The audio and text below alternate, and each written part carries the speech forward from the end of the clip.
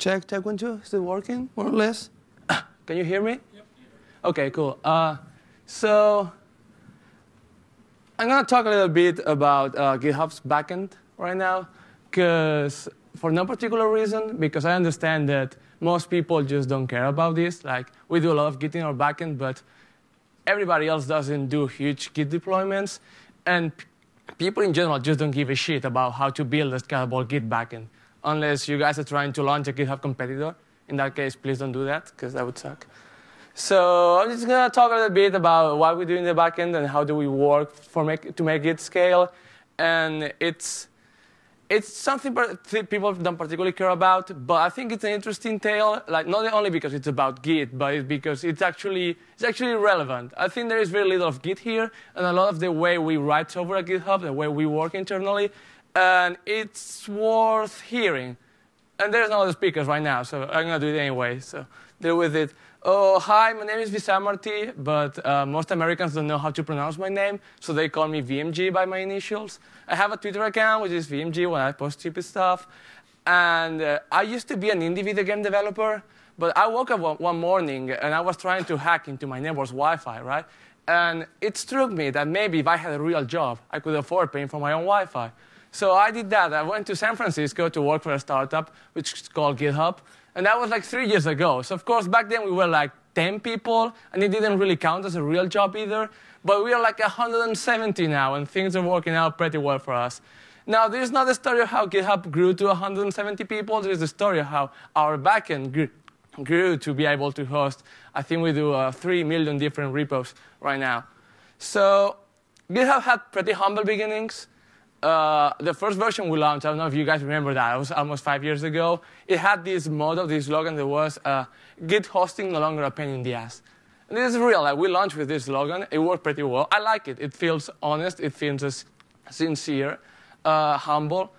I feel it could be even more uh, honest because it could say like, Git hosting no longer a pain in the ass for you, not for us. Because Jesus, if I ever meet the guy who came up with this Git idea, I'm going to shoot poop pellets at him with a paintball gun. Because it's so bad to make this work on the server side. It's so painful.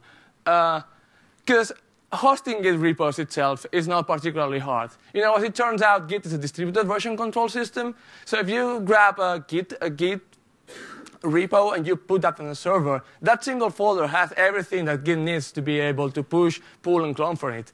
So you just take that .git folder, what we call a bare repo, you put it on the server, you punch a hole in SSH, and now you're hosting Git repos for people, which is which is pretty convenient.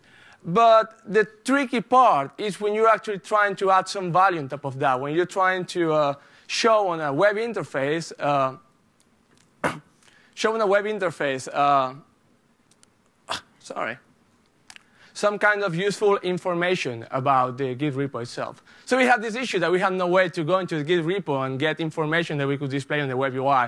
And since our stack was written in Ruby, we uh, Tom Preston-Werner trying to write a small Ruby library called Grit, the Ruby Git interface, that did just that. It just went into the Git repo and was able to parse the internal Git formats and show them on a web UI. It was pretty straightforward. You just pass Grit uh, a folder on the file system. Oh, thank you, man. thank you so much. You just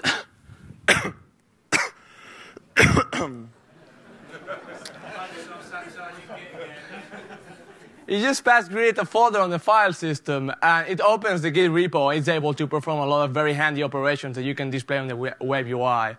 And this was pretty straightforward. It worked very well in practice. So we just launched a website like that. It was a single VM, and we just put that VM on a, you know, it was a VM on the cloud. And it was the main Rails application, Ruby on Rails, and Grit, and all the Git repos on the same VM, on the same machine. So, of course, this worked, but like the kids say nowadays, it's not web scale because it's a single VM, right? So that's not going to go very far. And in a couple of weeks, we had so many users that we were like, OK, man, we need more VMs. We need to put our main Rails application in several VMs. But we, we had this issue now that uh, we had several VMs with the Rails app, but we didn't know where to put the actual Git repos. Because if you put uh, different repos in every single VM, then routing gets very hard. So we came up with this kind of ghetto idea that worked very well in practice, which is uh, GFS. Uh, this is not Google File System, this is Global File System, but Red Hat. So the point is that we will have a single big server with a lot of hard disks, with all, with all the Git repos in them. And then we will just mount the same server on every single VM. So they, every single VM could access the Git, the Git repos like if it were on the local hard disk. So that way we could just spin up new VMs, and without changing a single line of code from the main Rails app, you could just access the grid, could access the Git repos like if they were on the local file system. And this worked pretty well in practice uh, for a couple months. But then we had the same issue that uh, a lot of other startups like Twitter and a lot of other people had, which is that Ruby on Rails was making us slow. And in our case, it was even worse because it was literal. Like they were literally making us slower. They just moved Rails to GitHub, and suddenly we had like, like thousands of people forking that thing and opening pull requests and cloning, and we were not ready for that. We definitely were not ready for that. I mean, it's a great, it's a great uh, problem to have, like being uh, too famous or having too much success. But it was tricky. It was tricky because uh, we were growing very fast. And we had very, very little people. And we had to work around that to let people, you know, fork Rails. So luckily for us, uh, we had saved enough money by, by then to actually uh, buy real hardware, like actual machines. Amazing, real hardware. Uh, we got small point data center, and we got uh, four front-end machines, real machines, not virtual machines, and four file servers. And of course, a data database machine. But and we had the hard question now that we had Git repos spread around a lot of servers. So we had to come up with a way of a routing layer that would let us, the main front-end machines, access the, access the Git repos in the backend. Uh, we came up with something I think pretty smart. We called it Smoke, which is kind of like a cloud, but not quite, and it's blurry. So uh, it was a pretty good idea, and it worked out. It worked out very, very well in practice. Let me let me talk a little bit about it. Um, this is going to make perfect sense in just a moment. Just give me give me a moment here. Uh, on the right, you have a BERT, which stands for Binary Erlang Term. It's a, it's a serialization protocol that uses the same uh, uh, uh term uh, protocol that the Erlang VM uses. So that way you can actually send uh, Erlang terms over the wire. And on the left, you have Ernie, which doesn't stand for anything. But it's the name of the RPC server that BERT uses to actually communicate. So the stack looks something like this when, when the main Rails application uh, wanted to perform a Git operation, what you would do is it would, it would still do them through Grit, but of course Grit cannot do the operations over the network because it needs a local uh, repository on the, on the file system.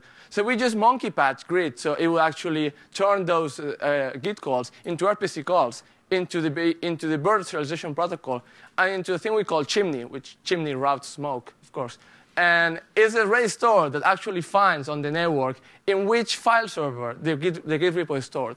So that way we can actually route that RPC call into the file server, and then Ernie, the RPC server, will take the RPC call, deserialize into Rubyland from Erlang, and perform the Git operation, which now we can do because now we are in the file server and the Git repo is on the file system. So now we can do the actual uh, Git operation on Git uh, get the result, and then send it back to the front-end machine uh, serialized as BERT again.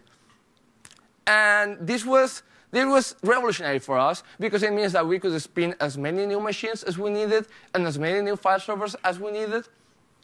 And it also meant that we could continue working on a main Rails application, the github.com website itself, without having to change a single line of code because since everything was monkey patch, all the RPC operations were happening transparently. And we didn't have to restructure the actual Rails application to continue growing the website. So we could ship features and at the same time keep scaling at the same time, which was huge for us.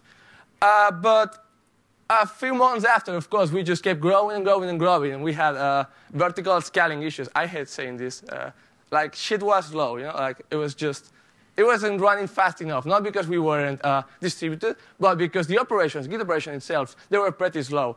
And of course, the main issue we had was Grit itself, because it was a Git library written in Ruby, which is not a good idea, because Ruby is, uh, well, not that fast of a language. So we decided to work around this by shelling out to Git a lot.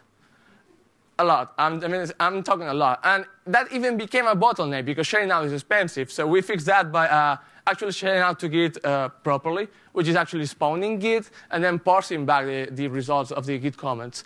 But this doesn't really work out on the long run because spawning Git is pretty cheap, but it actually gets a little bit nasty when it comes to parsing back the output of Git commands back into Rubyland. So that was even making us uh, not, not even the startup time, just the parsing and communication time between the spawn process and our main Rails app uh, was, was getting a little bit painful. And luckily for us, this was back then in 2010, and a lot of other people uh, were having issues like very, very close to the same ones we were having. I like to uh, explain this as the story of, of Ed. Ed. Was working for another company, right? And he also was trying to make Git scale. They were, uh, they were also having Git scaling issues. So one morning, Ed uh, woke up and he went uh, to his boss, and he was like, guys, guys, guys. Uh, and he was like, what do you want, Ed? And Ed was like, I have, I have a great idea. You see, uh, have you ever heard, have you ever heard about the Git command line client? Like, why don't we don't take that command line client, right? And we build that Git binary. We build it as a share object, right? You, we take the share object, and then we just link that into our server process. And his boss was like, Oh man, Ed, you're amazing. You just made Git scale on your own. That's brilliant. You just fixed all, all of our problems. So Ed just did that. He just built the Git command client as a library and just link that into a server process and use it to communicate with the Git repo using actual uh, ABI calls, native calls. But he left the server running for a while and he checked the performance graphs and memory usage went something like this, like boop, boop, boop, boop, boop. Now, uh,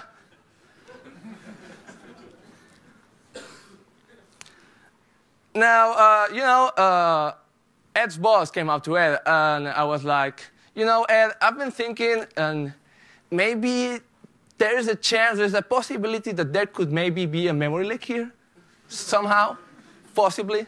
And Ed said, yeah, well, uh, the thing is that we didn't really think about free memory. You see, because Git is a command line app. So it's going to run once and then it's going to quit. So it would be pretty stupid. It would be a waste of time for Git to free memory. But if you link that to the server process, you kind of want to free that memory because it's going to run for a while. And of course, this is the kind of problem that we could solve very easily with CGI in 1995. but we're stuck in the future, and we were like, eh. So luckily for us, this is also the kind of problems, there's a lot of problems in computer science, that they just solve themselves. So Ed just left the server running, and the memory usage graph was something like this. Boop, boop, boop.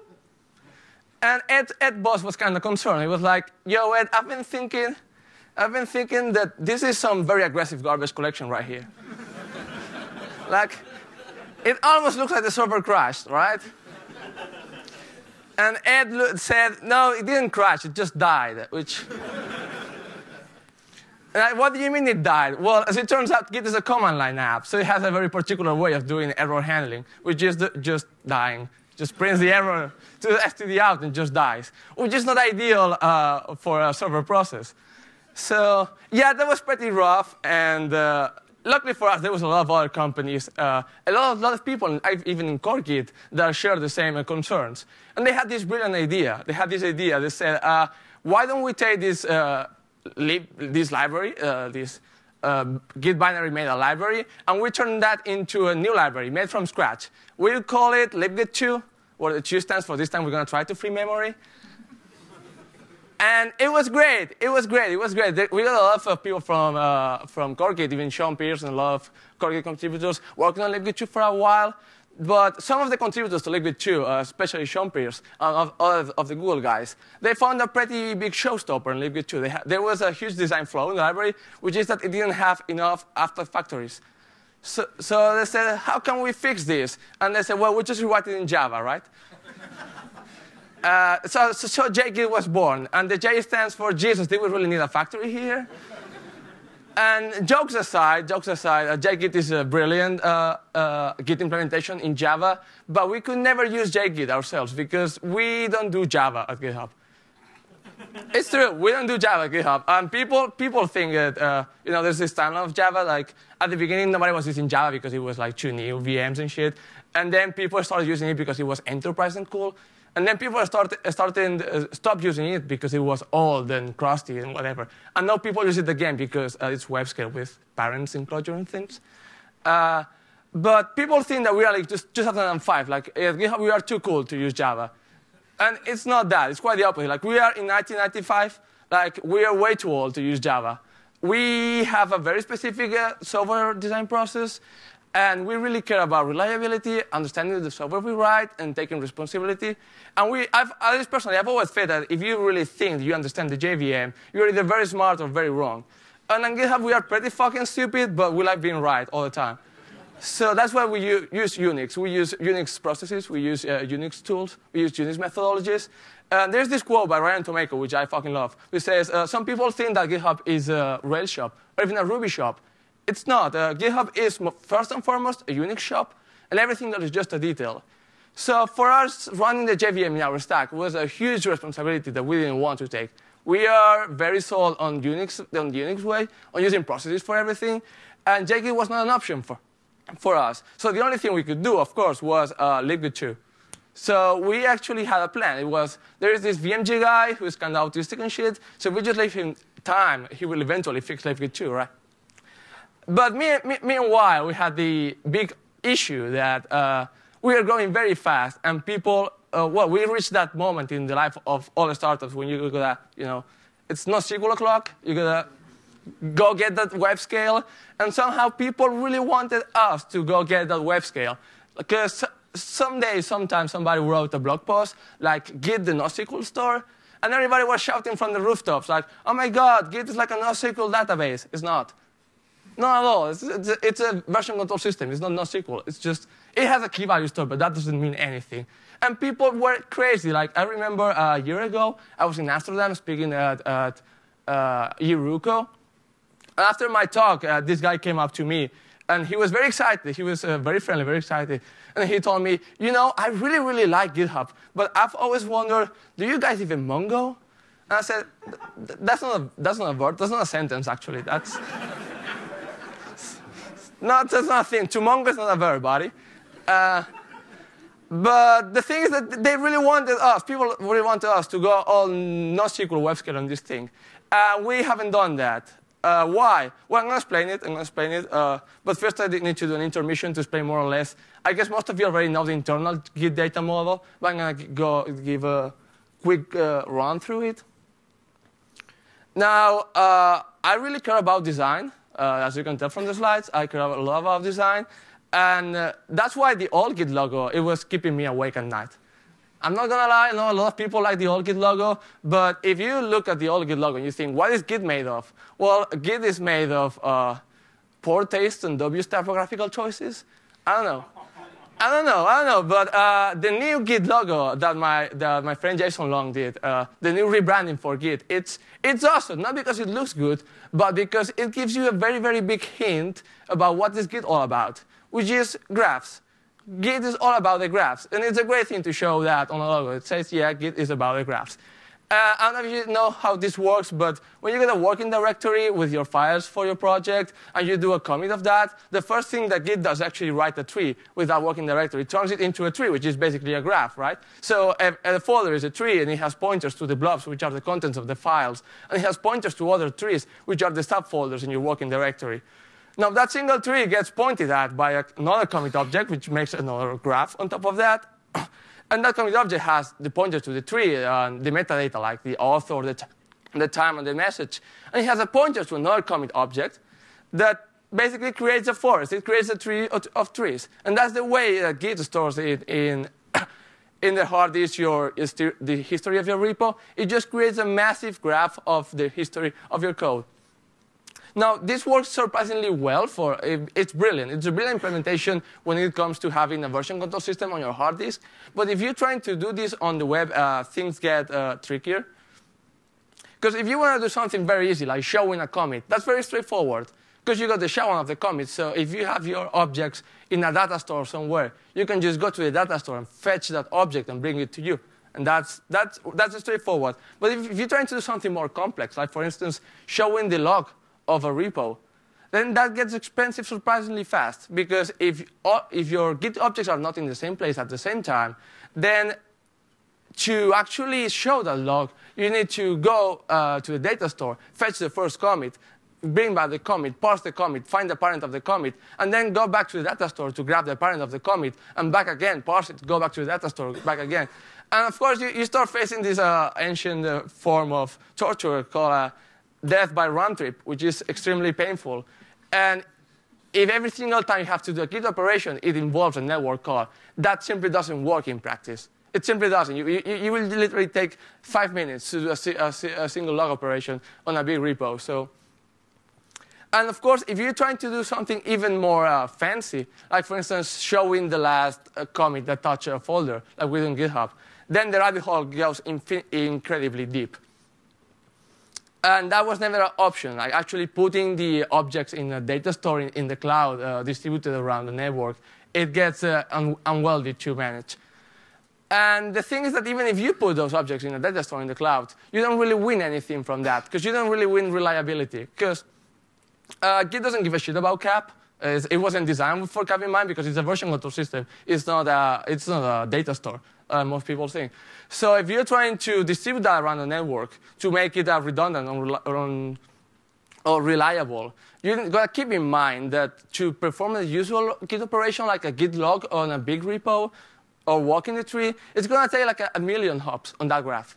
And if that graph is distributed across the network, it's not, it's not only going to be expensive, it's going to be very, very hard to complete because the amount of hops needed to make that successful query is more or less exactly 1 million. So if you miss a single hop from that operation, the operation doesn't really finish. It's not successful. And that makes that the amount of uh, redundancy that you need to make sure that if a node goes down, the whole graph can still be queried. It's basically a metric shit ton. It's extremely expensive to have that amount of redundancy to make sure that even if a single node of the network goes down, you, you still have enough objects left to perform a full query without having to fail it. Uh, now, this is something that is hard, but it's not, not even close to impossible. We definitely could fix this, and in fact, we've been trying to do that for a while. But, but we won't do that. Not because we can't, but uh, because it's not our style, it's not the way we work. And as it, as it turns out, uh, three years have happened since I started working on libgit 2, and it's gotten to the point where the library is mostly finished. We actually use it in production now. We use it on the backend for GitHub.com. We use it on our native app. We use it, Microsoft uses it on Visual Studio. So it's a very solid library now. It works very well in production. And it's allowing us to do things we've always wanted to do with Git on the backend without having to go cloud or NoSQL or WebScale or whatever. Our new infrastructure is called Git RPC, and it's about less. It's not exciting. It's the opposite of exciting. It's a simple uh, RPC server written in Ruby, which runs on the file server. And it doesn't have Erlang anymore. It's just pure Ruby, and there's only C under it. So we have uh, Ruby bindings to libgit 2, and the stack looks something like this right now because we roll out Git RPC in production. We've been rolling out, rolling out for six months now. And it runs right now next to Grit still. So Grit still goes through Ernie and all that bullshit. And Git RPC is much more straightforward. It hits the file servers directly, it performs the operation, and it brings it back to the front ends. And there is not, none of that fancy uh, uh, Erlang, WebScale, whatever. It's just Ruby and C under it. And the, on the wire, it's not even uh, BERT anymore. We're actually using MessagePack. Uh, we're actually using BERT right now, but we're going to switch to message MessagePack. So the whole point of it is that as we start rolling new features on GitHub.com, we always implement all of those using Git RPC. And we keep the old ones running Grit, and we slowly rewrite them. In fact, now there are very, very few features in GitHub.com that still go through the old Grit pipeline. And as soon as we port everything over to use Git RPC, we'll just take down the Grit pipeline. It's going to look something like this. Git RPC client, uh, pure Ruby on the client, it's just routing to, through Chimney, and then his Git RPC server, which is simply Ruby again and C, libgit 2 under it. Now, this took about uh, six months of implementing, three years to write the library, and it's not exciting. It's not web scale. It's not cool, and it's. But we're very excited about it ourselves because it's a great show of the way we work. Like it took a lot of effort to make something that is faster has less lines of code, it has less languages, it uses less databases. And it's not revolutionary, it's the opposite. It's evolutionary and probably disappointing, but that's the way we wanted to do it. Uh, this is not related to Git directly, but I think it's something that I really like to talk about, and I think is very important about the way that GitHub works. Is uh, it's not about being cool or exciting, but about making software that works. So over the years, we've had a lot of problems. We've had to face very big scaling challenges, engineering challenges, because nobody, hosts, no, nobody hosts more code than us. And we had to face uh, problems that nobody had faced before. Now, the secret uh, to tackling these things, even, even it's not related to Git itself, most of them are Git related, but we managed to do this mostly by uh, using tools that we know very well. And that's basically GitHub secret. Like, uh, instead of using whatever is cool now, like Node.js or Go or whatever thing is in now, using old school tools that we know very well how they work, that we know they work reliably, that we really understand, that gives great results in, in at, the, at the end. And especially challenging ourselves all the time to build the simplest thing, not because it's easy, because it took us three years to build a new Git library, Libgit 2. But it's worth it at the end, because it's less lines of code, it's less languages, less databases, less uh, interactions between pieces. And that's what we, we really care about.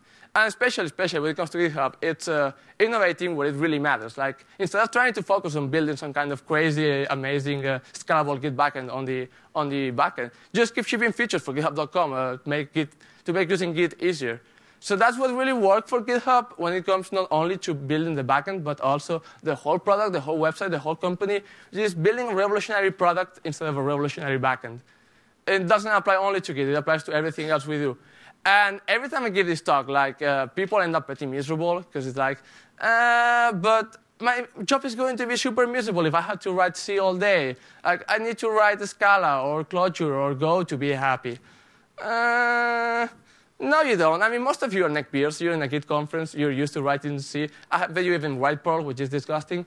But, but the point is that you don't need to use the shiniest new toy to have fun writing software. Like, you can, you can have fun doing a lot of, a lot of, a lot of old school languages that you know are going to work very well.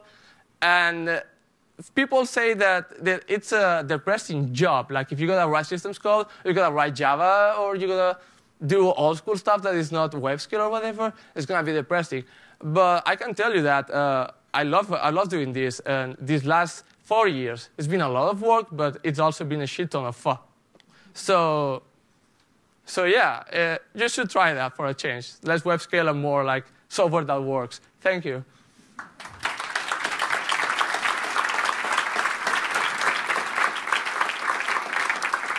Man, that went on for a while. Sorry that took so long. I wanted to be 20 minutes, so it's been 26.